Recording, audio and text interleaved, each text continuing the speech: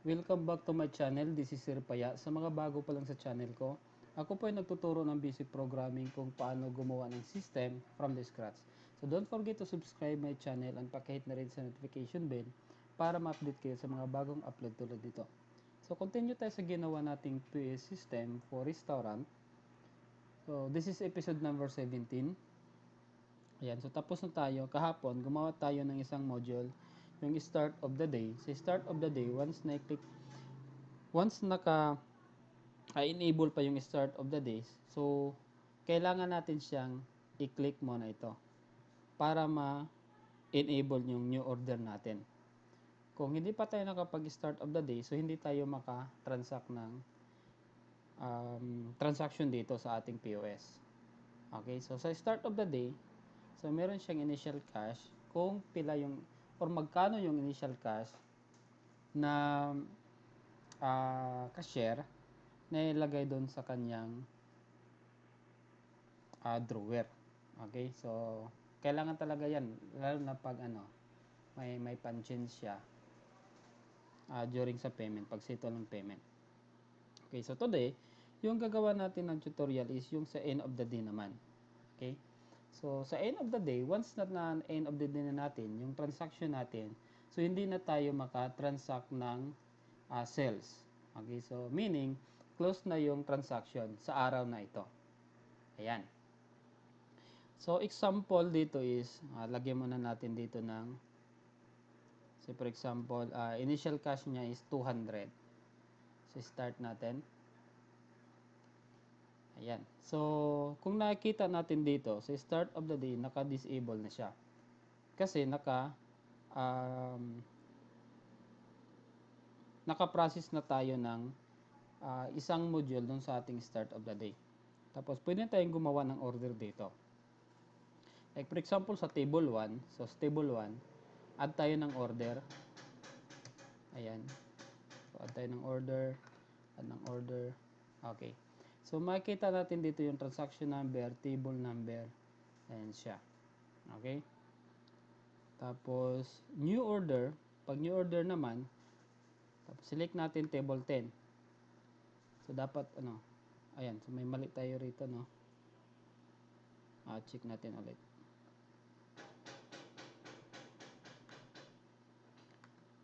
Ah, okay. So, ayan. Sa pag-filter pala mali yung filtering natin. Back to POS tapos dito tayo sa ating new order. Sa new order natin tapos dito kay table then pag select natin ang table select table so ito yung select table natin. So check natin dito. Tapos sa record natin back to POS tapos check natin yung record dito sa ating load cart. So load cart natin dito is transaction number. Na-check natin. So again, lagyan tayo cashier 001 1 2 3 4. So naka-disable na yung start of the day. Ayan. At saka yung end of the day naman is ito naman yung naka-enable. So, new transaction tayo. So, nandiyan pa yung table 1 natin, 01. Take out. For example, order tayo sa 12. Skip tayo ng order. So, dito natin makikita yung mga pending na uh, payment sa ng ng customer. So example sa table 01, so meron siyang pending payment dito na or uh, bill na 395. Sa table 12, meron siyang bill na 260. So ayan. Okay? So sa end of the day, so hindi natin siya ma-end of the day dapat pag meron pang mga pending uh, billing dito. So dapat lahat sila is naka ano na, naka naka-process na lahat. Okay, so dapat walang pending. So paano natin 'yang gagawin? Open muna natin yung database. So again, sa mga bago pa lang sa tutorial natin, so ang ginamit natin dito na language is visualbasic.net. Yung programming tool na ginamit natin is Visual Studio 2015 Community Edition. Tapos yung database natin is WAMP server. Ayan, MySQL.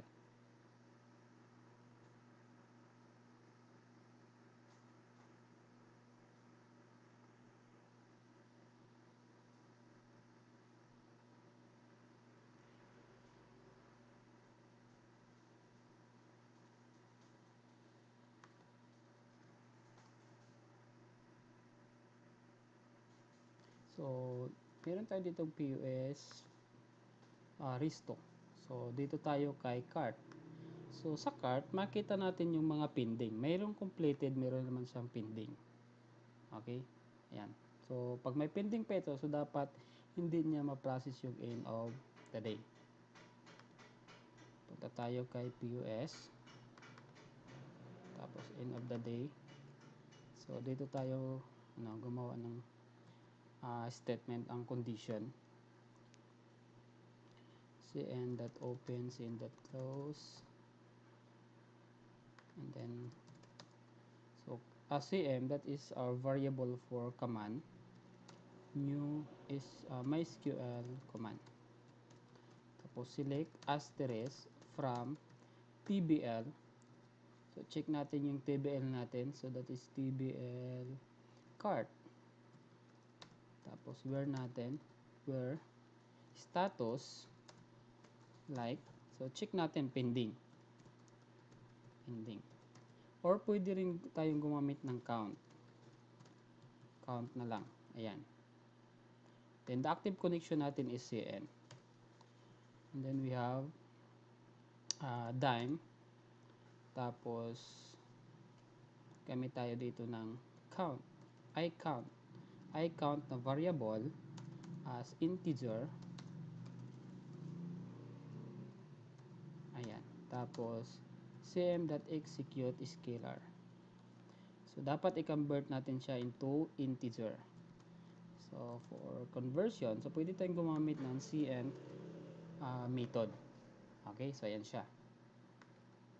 Then, if uh, I count is greater than 0, so meaning may laman pa yung uh, may mga pending transaction pa. So dito tayo ano, ayan.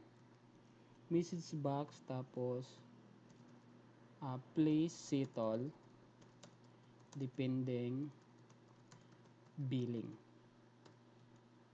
with exclamation tapos return. So ang purpose ng return dito is para i-terminate niya yung execution sa program. Okay? So, otherwise, pag yung iCount variable natin, ang value niya is uh, 0, so pwede natin siyang i-close. Else, tapos cn.open, cn.close, tapos cm. So, check natin. Check natin yung table natin. Meron tayong ginawa ditong table na sa start. So, yung status niya is open. So, select natin or update natin to yung status, palitan natin ng close. So, cm new mysql command. Tapos update. Tbl so name ng table is table start. So set. Set natin yung status. Tapos like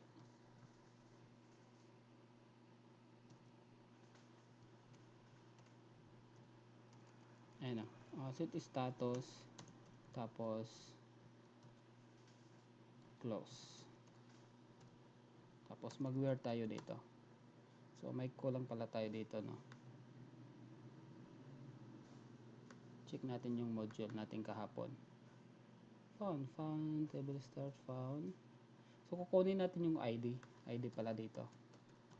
Public, tapos, um, start ID. So, start ID yung gagamitin natin. Ayan. So, dito, gamit tayo ng start ID. Tapos, as uh, dr.items. Tapos, yung ID. that to string.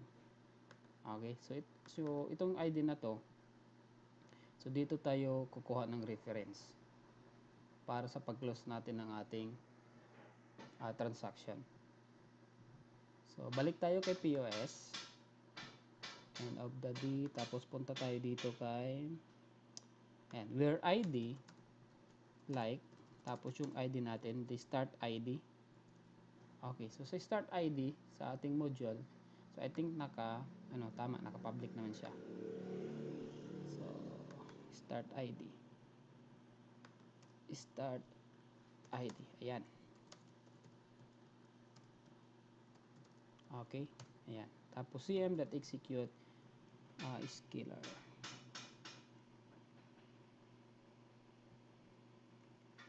ano, execute ng query. Ayan.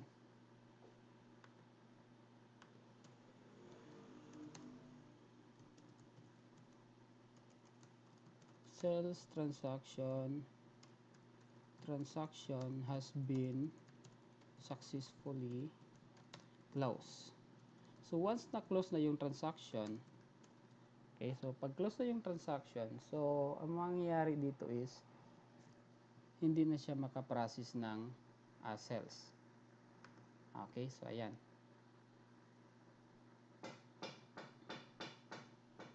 So, punta tayo kay POS again.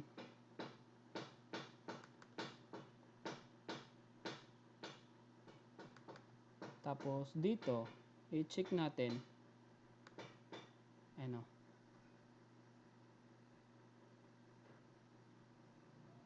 check natin dito.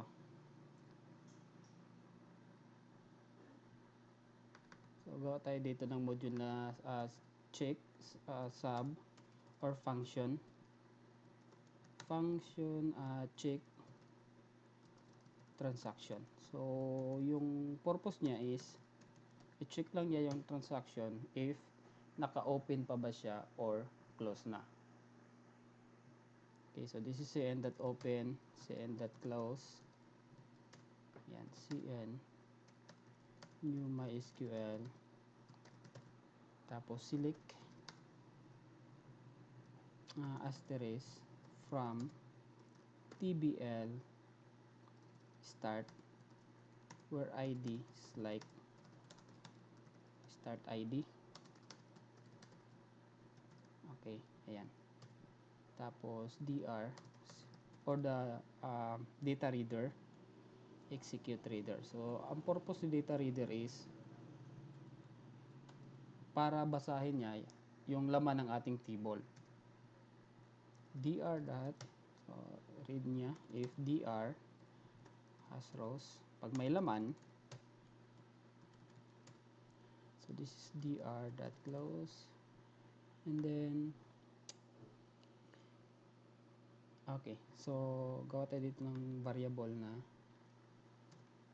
time.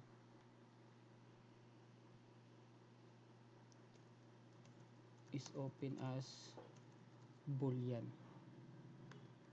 So pag and status like open.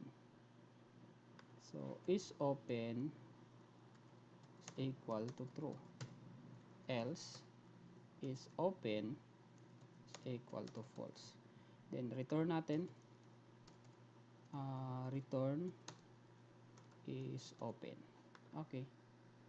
Tapos, balik tayo rito. Tapos, if uh, check transaction ayan, is equal to true, then continue. Yan siya. Else, message box.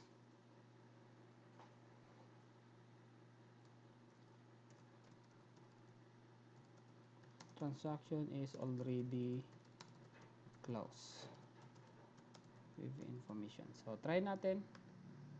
Check natin siya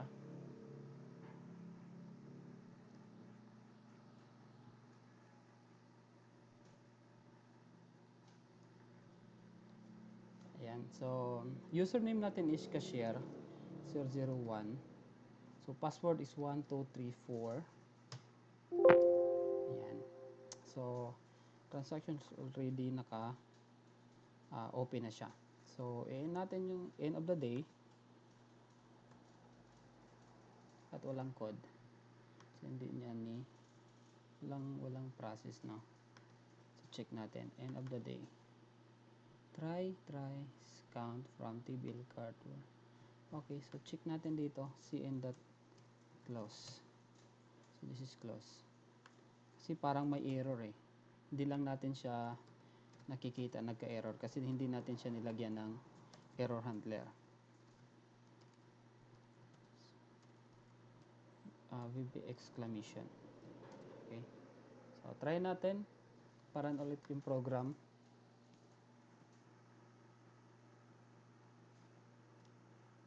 User login answer so daily uh, POS system. So uh, cashier 001 1234 lagyan natin. So start of the day. So end of the day tayo. So yan yung error. You have an error. Check manual correspond right syntax. Okay.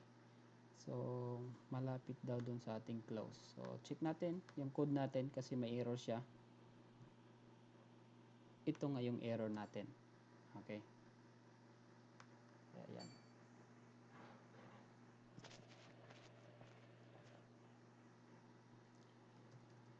Cashier 001 1234 So, end of the day, please settle the pending billing. So, hindi niya i-end yung din niya pag may mga pending pa na billing. Okay, so kung i-check natin dito is meron pa siyang mga pending billing. Like for example, ito, i-settle natin siya. Tapos, if to, para for settle, so example, yung total bill niya is 395. So, yung cash niya is 400. So, change is 5. Save this payment. So, again, wala pa siyang thermal printer kasi wala pa tayong available na thermal printer. So, try natin mag-order ng thermal printer uh, next week para malagyan natin siya. Okay, so end of the day natin, so hindi pa rin siya pwede kasi mayroon pa rin isang pending. Okay, so ayan, so settle natin yung payments, example 300. Ayan, so kung i-check pa natin is wala na siyang mga pending na billing. So try natin i-settle, I mean end of the day. So transaction has been successfully closed. Okay, so close na yung transaction niya. So, try natin new order. So, transaction is already closed. So, hindi na siya maka-process ng uh, order. So, dapat is yung mga yung mga icon natin na ginamit sa sa warning. So, information yung nalagay natin. Like for example, ito. Exclamation So dapat before natin i-close yung yung day, like for example ito. Before natin siya i-close, so may mga uh, condition pa muna dito. If message box close uh, do you want to close? Do you want to close the transaction? So, pag BB yes, no, plus BB question. So, pag ang reply ni user is yes, so, dyan pa natin i-close yung transaction. Okay. Ayan. Tapos, dito sa ating POS. Dito siya. So, check natin siya. So, hindi siya dapat information. This is, oh, tama transaction ready ano? So this is exclamation. Exclamation siya. Okay so check natin ulit sa login natin. Saan ba yung validation natin dito? So yung validation natin is nandito sa saan ba yan? Validation validation. Ayan check status So, sa check status natin, check natin dito.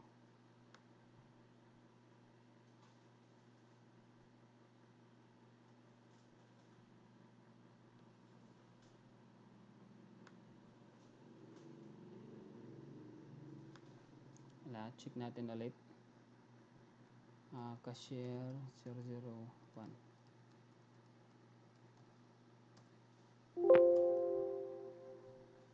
So, dapat hindi na siya dito maka-start of the day.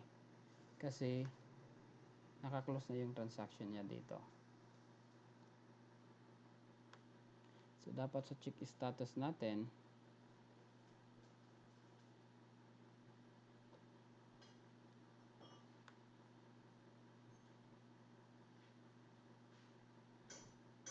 ano, dito sa ating dito sa ating um, POS. Pag check natin dito, so dapat may mga condition pa tayo dito. So yung condition natin dito is ito siya. Kukunin lang natin yung ating check transaction.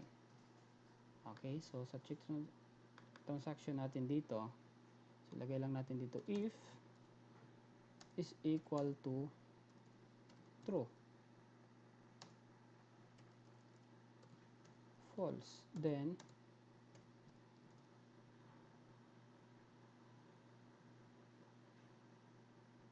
ano, mali. So, check lang muna natin dito. Itong condition na to, true. So, pag true, ayan. Pag false, yung isa. So, mali. So, this is true.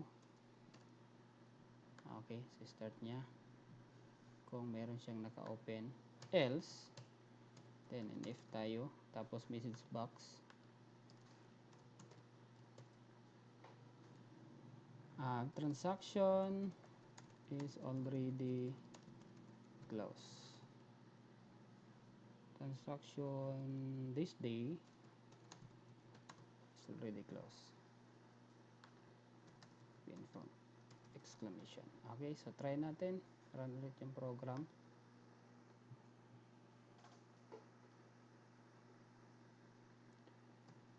Cashier 001.